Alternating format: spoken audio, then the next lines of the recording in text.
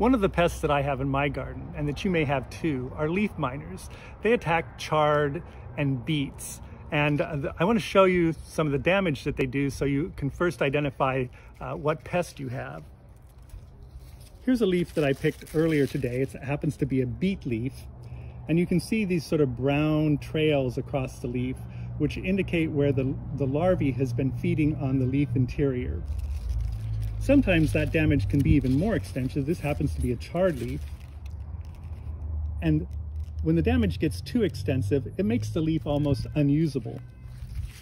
Fortunately, interestingly today, I found a plant that actually has an active larvae in it. And you can see it if you look closely here by my fingernail.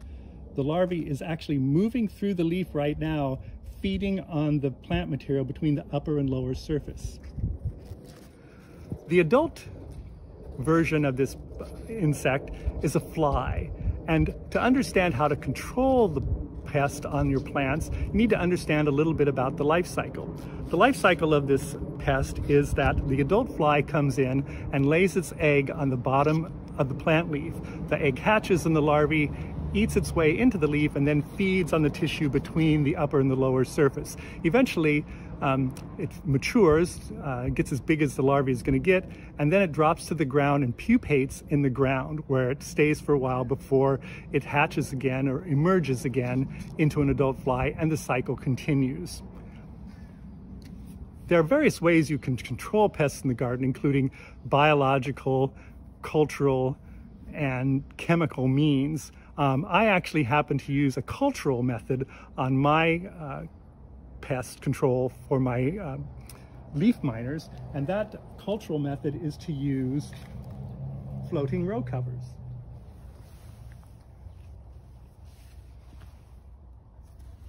Floating row covers are just a light fabric that you can buy at um, nurseries and hardware stores. It comes in large sheets, usually 10 by 20 or 6 by 20, some, some fairly large sheet. And you can leave them over the plants because both air, sunlight, and water go through the fabric.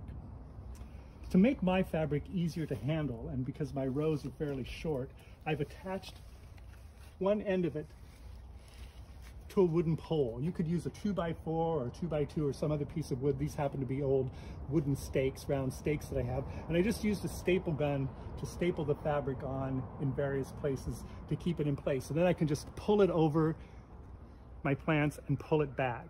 And then there's also some fabric over the edges that keep the edges sealed. And I put some rocks, you may have seen me taking some rocks off the edges that keep the edges sealed to keep things from going underneath it.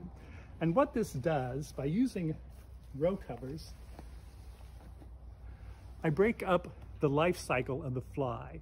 So the row covers keep the adult fly from coming in and laying its eggs on the plant leaves.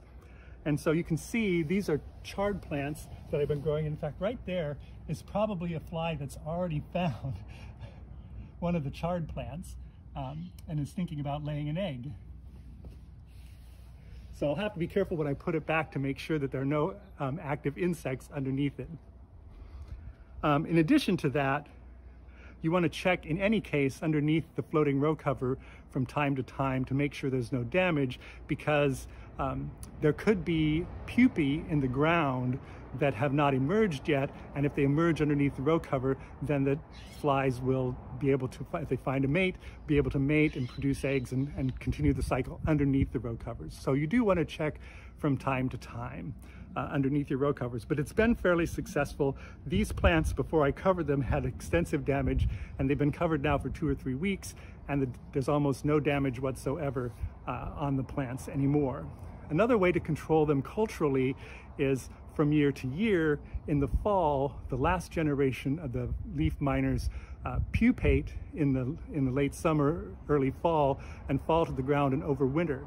Tilling the soil in the fall will help disrupt that cycle and make the um, conditions less desirable for the pupae to survive over the winter. So that's one way that you can control a pest that may attack things in your garden, including beets and chard, by using floating row covers to disrupt the life cycle of the fly. And I'm gonna shoo this one away before I put the float cover back on. So that's one way to control uh, pests in your garden using non-chemical methods, uh, using floating row covers as a cultural method to keep leaf miners off your chard and beets.